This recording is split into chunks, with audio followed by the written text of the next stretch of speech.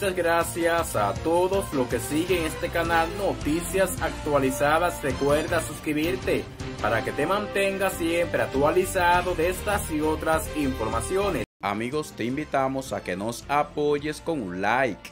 El presidente de la República, Luis Abinader, declaró que el compromiso de su gobierno es ayudar a los dominicanos que más lo necesitan. Dijo que a pesar de haber tomado el gobierno en las peores circunstancias del último siglo, se ha avanzado y se avanzará más en este sentido.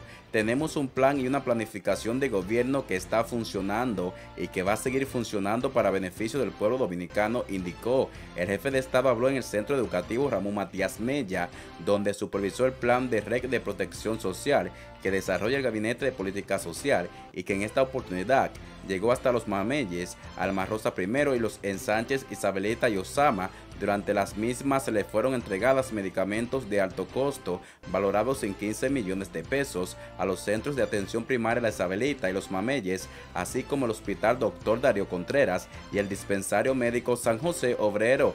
Gracias amigos por seguir esta noticia. Recuerda suscribirte, comparte este video. Nos veremos en una próxima noticia. Muchas gracias.